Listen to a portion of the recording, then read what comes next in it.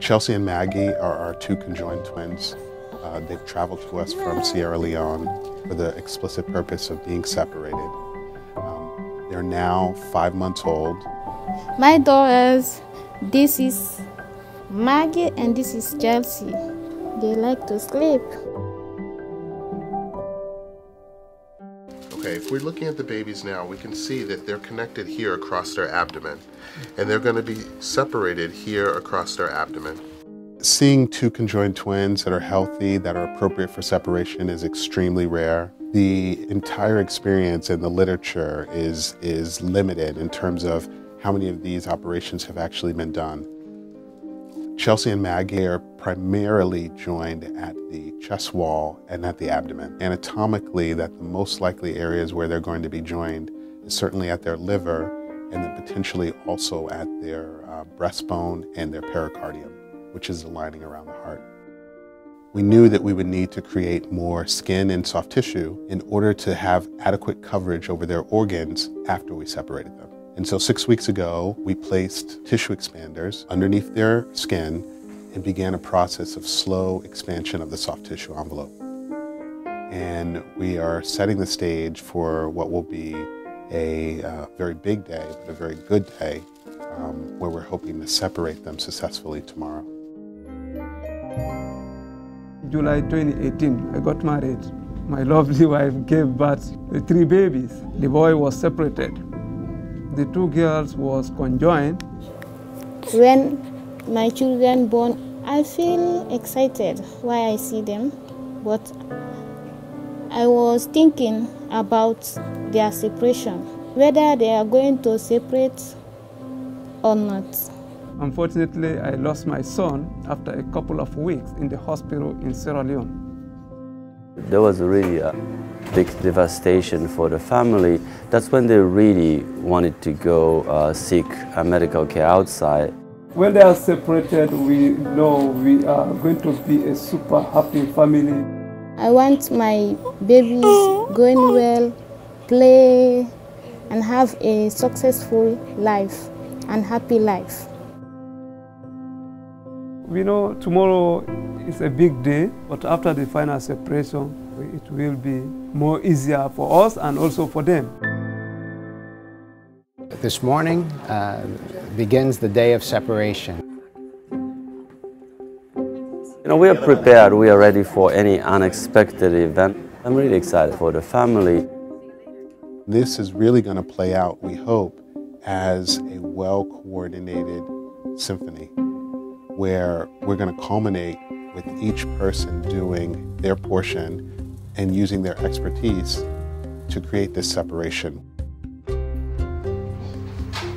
Hello, young ladies. How are you this morning? First several hours will be the uh, delivery of anesthesia and the monitoring. It's then the uh, separation will begin, will take several hours, and the reconstruction uh, will take an additional several hours. So we'll go most of the day uh, today. We're about to start the splitting. The first thing that will need to happen will need to actually be a separation of their breastbone or their sternum.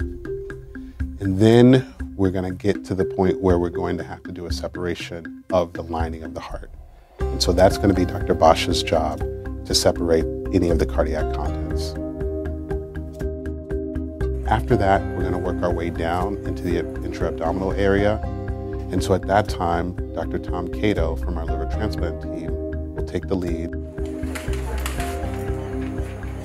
There's only one organ that is really clearly fused is the liver. And then uh, it's not a really small portion, it's a very big portion of the liver is fused. So we have to split into two parts. Final separation So then the next part of the surgery Dr. Stylianos and I will take the lead and we'll do the final separation of the rest of the soft tissue envelope.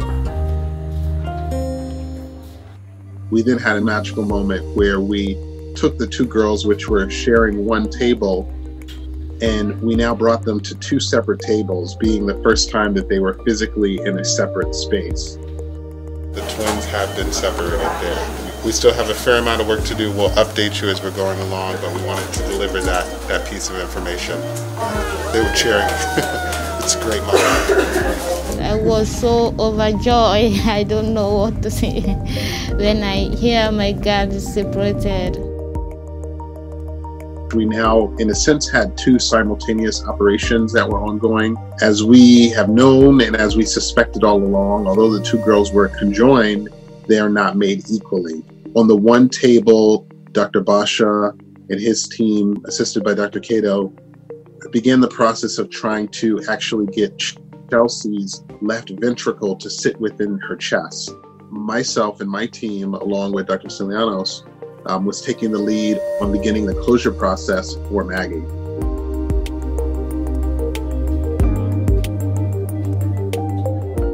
We brought the both girls up to the ICU.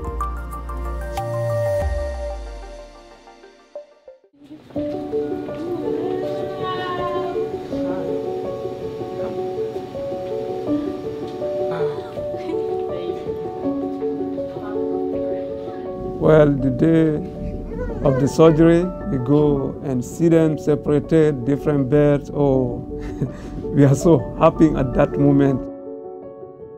We shared a hug with the parents. Thank you, thank you so much. Thank you. Thank you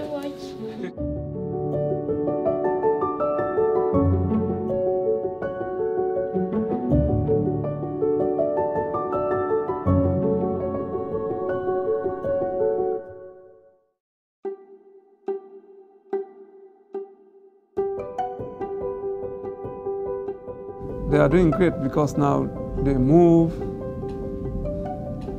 they stand for themselves, they walk a little bit. So they are doing well now.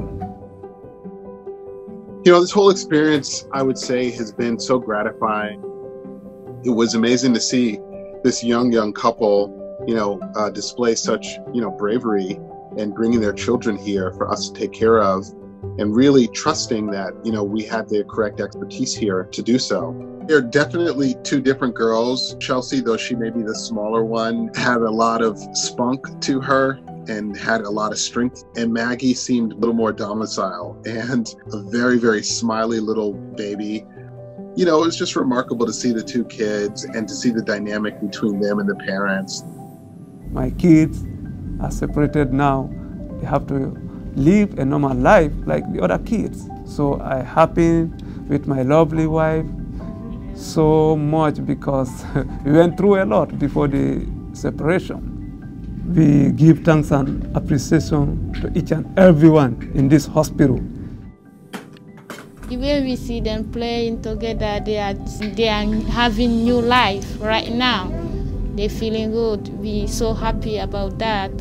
I want them to be healthy and better life like the other kids are because they are different now. Everything will be okay.